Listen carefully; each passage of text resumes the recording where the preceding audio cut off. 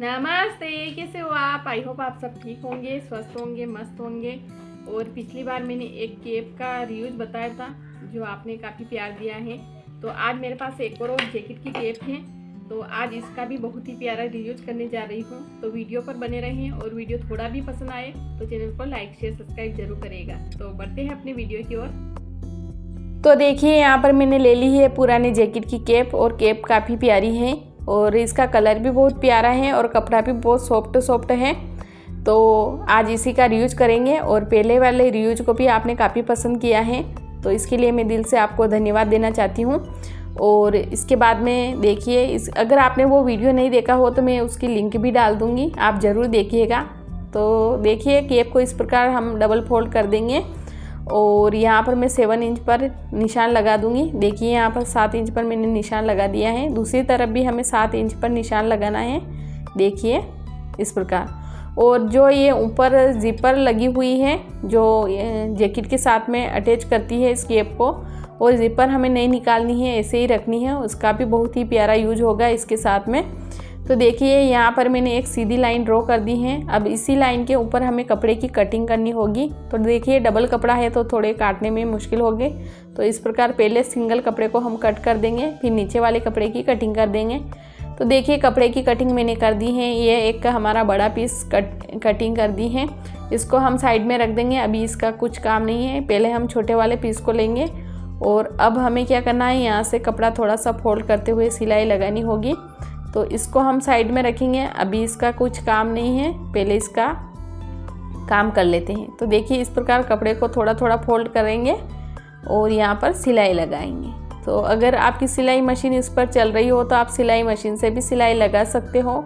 और अगर आपकी सिलाई मशीन नहीं चल रही हो तो आप हाथ से इस प्रकार फोल्ड करते हुए सिलाई लगा दें। देखिए तो यहाँ पर सिलाई मैंने लगा दी है। अब हमें इसके बनानी है आँखें और मुँह। कान, नाक सब आप जो बनाना चाहते हैं, वो बना सकते हो। पर मैंने यहाँ पर ये बटन और इसका मुँह बनाकर देखा तो मेरी बेटी को ये पसंद नहीं आया क्योंकि उसी के लिए मैं बना रही थी। तो उसको ये छोटा सा टेडी पसंद है, जो उसके टी शर्ट के साथ अटैच हुआ, आया था। रेडीमेड टी शर्ट लाई थी तब। तो उसने टी शर्ट काफ़ी पहन लिया है और इसके बीच में ये टेडी निकल गया था तो उसने बहुत ही प्यार से संभाल के रखा था और आज उसने मेरे को दिया है कि इसमें ये लगा दो तो मैं ये अटैच करूँगी। और बच्चों के कपड़ों के साथ में इसी प्रकार के प्यारे प्यारे बहुत सारे आइटम आते हैं तो आप उनको संभाल कर रख सकते हो, इस प्रकार अटैच कर सकते हो, किसी भी चीज़ में यूज़ ले सकते हो। तो यहाँ पर सिलाई लगाकर मैंने इस छोटे से टेडी को यहाँ पर अटैच कर दिया है। फिर बड़े वाला पीस लेंगे, उसको डबल फोल्ड करेंगे और उसके ऊपर इस प्रकार सेट करके रखेंगे, ऊपर से एक इंच नीचे की तरफ़। और यहाँ पर हमें सिलाई लगानी होगी। तो देखिए, यहाँ पर सिलाई में लगा दूँगी। सिलाई मशीन से। आप चाहो तो हाथ से भी सिलाई लगा सकते हो। तो देखिए, यहाँ पर मैंने सिलाई लगा दी है और यह हमारा छोटा सा प्यारा सा पॉकेट बनकर तैयार हो गया है। अब बारी है इस जीपर की।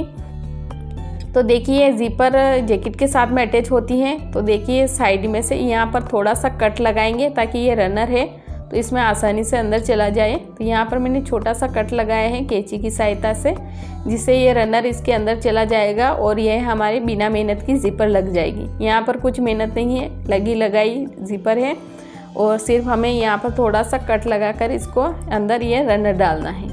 तो अभी मैं आपको रनर डाल के दिखाती हूँ। तो देखिए यहाँ पर मैंने रनर इसके साथ डाल दिया है, इसके अंदर सॉरी और अब इसको सीधा उल्टा कर देंगे। तो उल्टा करने के बाद में देखिए यहाँ नीचे सिलाई लगानी होगी हमें। तो देखिए, सिलाई इस तरीके से लगानी है कि हमें इसको उल्टा भी करके यूज़ करें तो ये सिलाई दिखे नहीं। तो यहाँ पर कपड़े को हम इस प्रकार फोल्ड करेंगे। देखिए, दोनों कपड़ों को इस प्रकार फोल्ड करेंगे और नीचे वाले कपड़े को भी इसी प्रकार फोल्ड करेंगे और फिर दोनों को साथ में सिलाई लगा देंगे, जिससे हमारे अंदर भी सिलाई नहीं दिखेगी और बाहर की तरफ़ भी सिलाई नहीं दिखेंगी और हम इसको दोनों तरफ़ से यूज़ कर सकते हैं। तो देखिए, यहाँ पर सिलाई मैंने लगा दी है। मैंने सिलाई मशीन से ही इसकी सिलाई लगाई थी। आप चाहो तो हाथ से भी इसकी सिलाई लगा दें। और इसके बाद में साइड की सिलाई लगा देंगे। देखिए, साइड में हमें कुछ नहीं करना है। वैसे भी यहाँ फोल्ड हुआ कपड़ा है।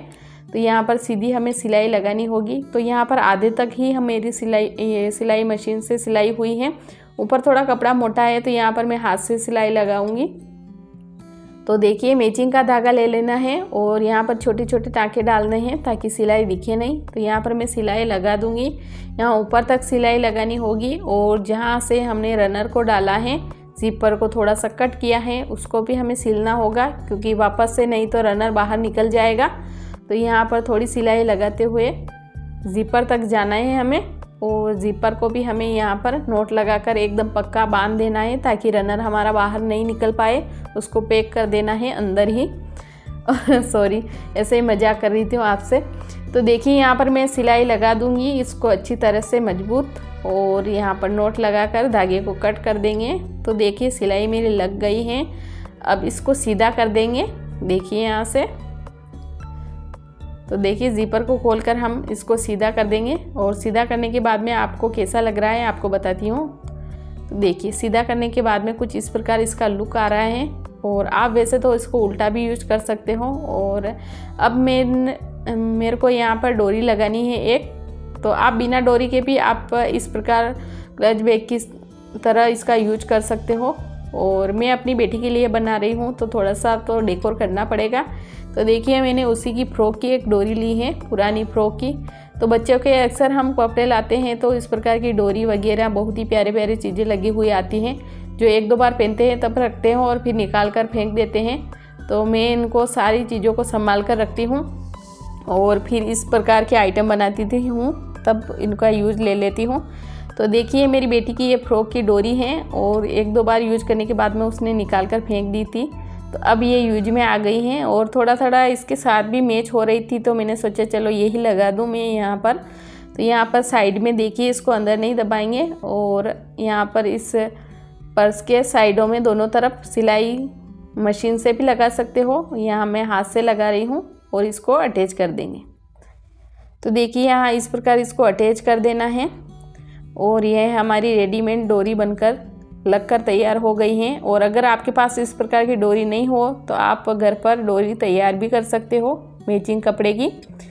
तो देखिए, ये हमारा एक बिना ज़िपर वाला पॉकेट हो जाएगा, ये ज़िपर वाला पॉकेट और इसको उल्टा करने के बाद में देखिए, उल्टी तरफ़ से भी हम इसको यूज़ कर सकते हैं। तो उल्टी तरफ़ से यूज़ करेंगे, तब अंदर हमारे दो पॉकेट हो रहेंगे। और सीधी साइड में यूज़ करेंगे तब एक बाहर वाला पॉकेट हो जाएगा और एक अंदर वाला पॉकेट। तो देखिए, इसको उल्टा यूज़ करेंगे तब इसकी ज़ीपर नहीं लगेगी क्योंकि ज़ीपर उल्टी हो जाएगी इसलिए। और इस प्रकार देखिए, बाहर वाले पॉकेट में आप मोबाइल वगैरह रख सकते हो, अंदर वाले पर ज़िपर वाले पॉकेट में आप कैश वगैरह और अपने छोटे मोटे जो भी ज़रूरी आइटम है वो रख सकते हो। और मेरी बेटी बहुत खुश हो गई हैं। देखिए, प्यारे से पर्स को लेकर खड़ी हैं। और इस प्रकार के पर्स हम मार्केट में लेने जाते हैं तो बहुत ही महँगे मिलते मिलते हैं। और देखिए कितना सॉफ्ट सॉफ्ट कपड़ा है, दोनों तरफ़ से यूज़ हो रहा है ये। और देखिए, आप आप भी यूज़ कर सकते हो, अपने छोटे मोटी चीज़ें रखते हुए। अभी मैं इसको सीधा कर दूँगी। और देखिए, आपके बच्चे भी खुश हो जाएँगे और आपकी पुरानी केप का भी यूज़ हो जाएगा।